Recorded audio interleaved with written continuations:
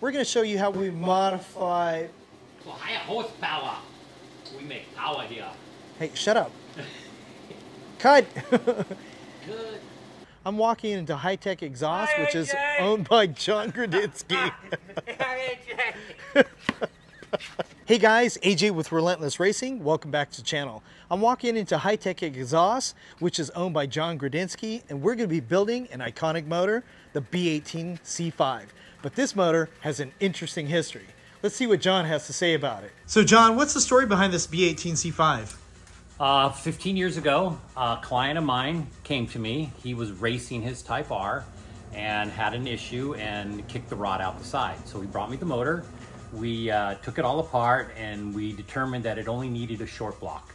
So I went to Tustin Acura, bought a B18C5 short block, and then proceeded to put it all back together um, because in his class he has to run basically stock parts.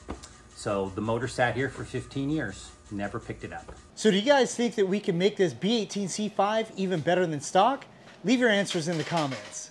This video series is going to show how Hytech improves the performance of a B18C5 RDOT motor. Subscribe and hit that notification button so you don't miss any episodes in this video series. In episode one, we're going to show you how we modify the PR3 head to handle higher RPMs and to provide better flow, which means higher horsepower and better torque. Let's get started. Okay guys, check this out. This is a Type R head and it has been vapor honed. It's also poured and polished. Check out those beautiful intake ports. And we've got it all cleaned up. And we're also going to be installing a whole bunch of SuperTech stuff. So you've got your valve springs, new OEM valve seals. You've got your spring bases, your retainers, brand new O-ring, keepers from SuperTech, and all valves are SuperTech as well. And again, this is for a Type R build that I'm doing here at Hytech. Okay, let's first install these spring seats. There we go. These have all been lubricated. Today we are using the Acrolean Childs. Make sure those guys sit down nice and flat. Okay, now we're to slip in some valves. I've taken all these valves and these are lubricated with Acrolean Childs. And I'm just to flip this guy up and I'm to start installing these things.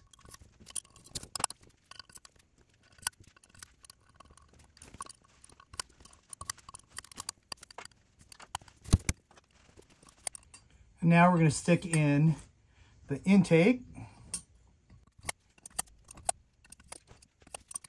Okay, let's put these exhaust guys on.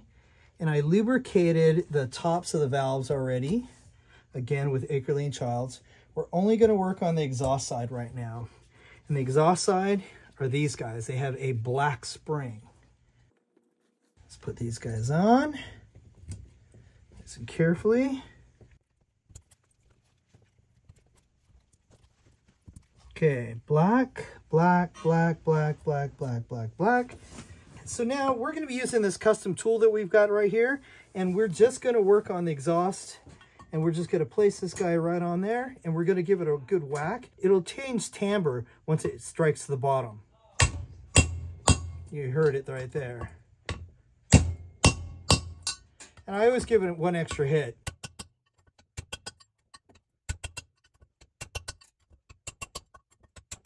Okay, let's switch around and we'll do the intake.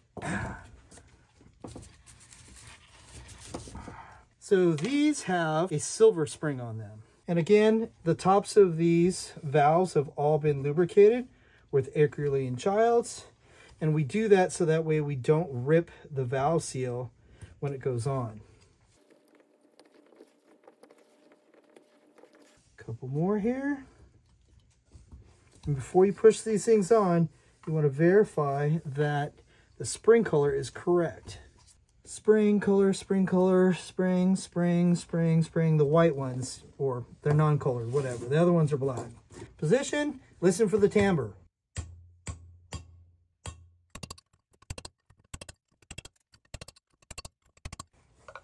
And the valve seals are installed. Let's take a look. Let's see what we did right here. Here's the intakes.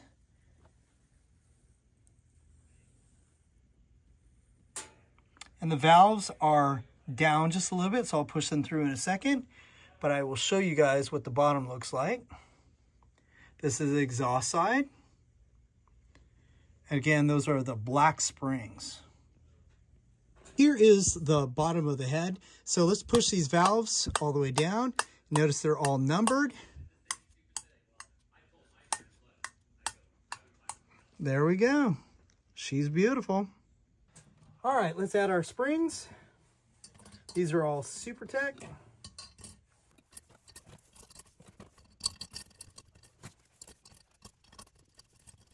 And then we're going to add some retainers on top of each one of these guys. Let's lube these guys up.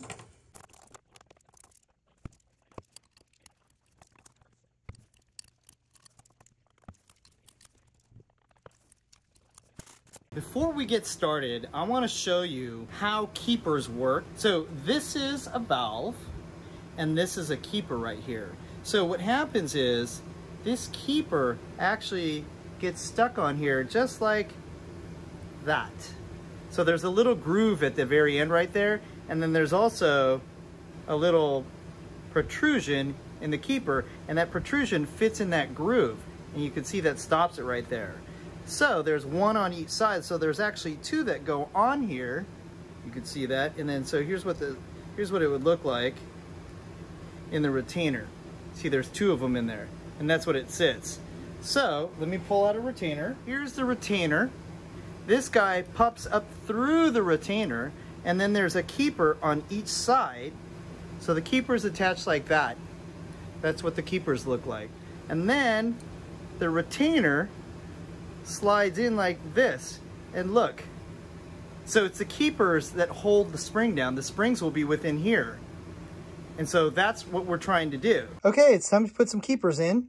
So we're gonna be using this tool right here. It's the Euro Export, and it is a valve spring compressor. So check this thing out. I'll put it all together for you guys.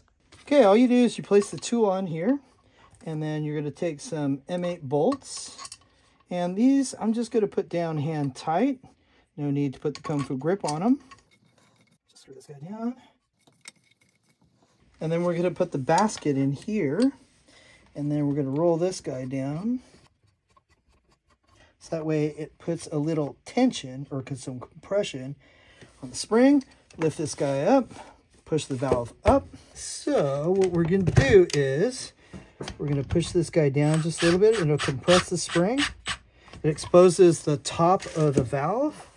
And then what we're going to do is we're going to take some of this stuff and we're going to use it as a glue, both on the inside and on the back of our keeper. And then we're going to place that right in here.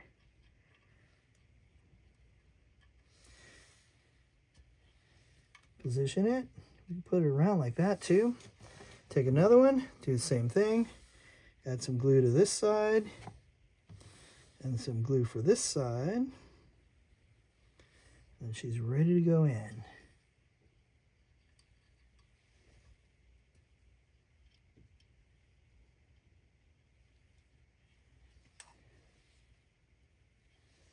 And let's see if those things are positioned properly. If they are, we can back this guy out.